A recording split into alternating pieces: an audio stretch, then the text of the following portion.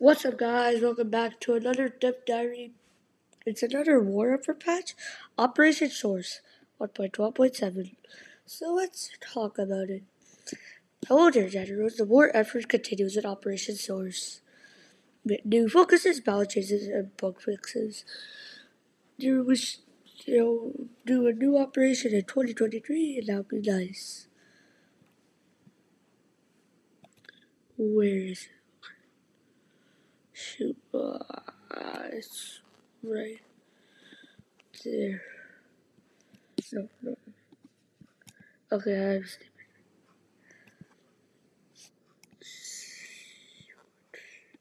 Shoot, okay. Where does I find this stuff is here?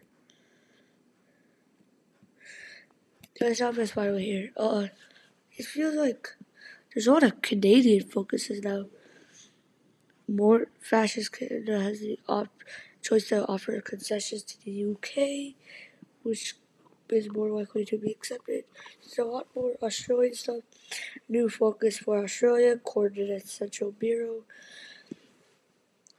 War score contribution from one leasing fuel and equipment roughly tripled. War score from Caprica promise during the first time increased from four from three.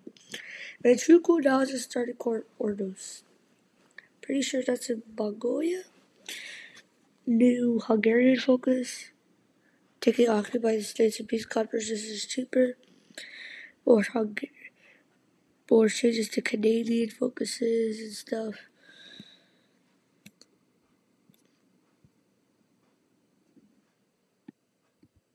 Decreased likelihood Switzerland will join the Allies or Axis. We will. Okay. Yeah, this is pretty positive. Wait, adding a new added a new option when releasing nations. Where's that? Added added a new option when releasing nations. You can choose to retain states upon which you have cores. Retained cores can be still returned to the public through occupation menu. Thank you. This is so good because cause this sucks because like say you annex Poland as Germany and you have some of the cores in Poland but but you didn't release it during the peace conference. So either you have to deal with Poland being part of your country or you have to lose some of your cores, which is lame. Dear gosh. Okay. So yeah. Thank you guys. So yeah, that's about it. Thank you guys for watching, and I'll see you, and I'll see you guys next time.